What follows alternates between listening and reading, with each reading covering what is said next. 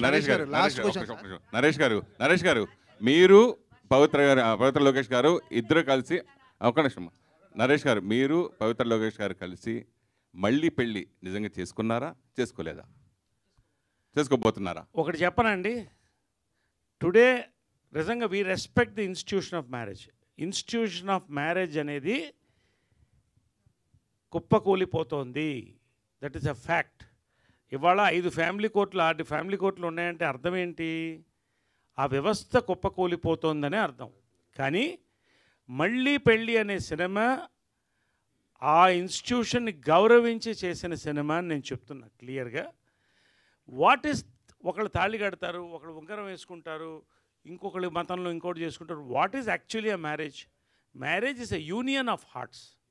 మీరు చేసుకున్నారా చేసుకోలేదా అని అడుగుతాను సార్. అదేనండి marriage is a union of hearts అంటే చేసుకున్నట్టే లేదా? అయిపోయినట్టే. రైట్. నేను అనేది it's union of hearts union of hearts అంతే. ఏమా?